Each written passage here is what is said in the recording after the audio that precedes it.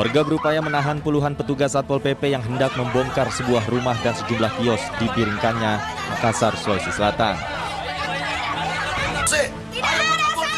Puluhan petugas langsung merangsek masuk dan membongkar rumah. Bahkan, petugas juga terlibat adu mulut hingga nyaris adu jotos dengan warga. Lawanan ini dilakukan warga lantaran mereka mengaku memiliki tanah seluas 10 hektar di lokasi. Namun upaya mereka sia-sia. Petugas lantas merobohkan bangunan ini.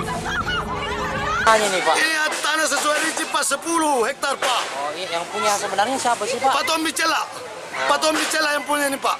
Sementara Pemprov itu mengaku-mengaku ada dia punya sertifikat. Lantas tidak ada yang bukti yang dia memperlihatkan kepada kami.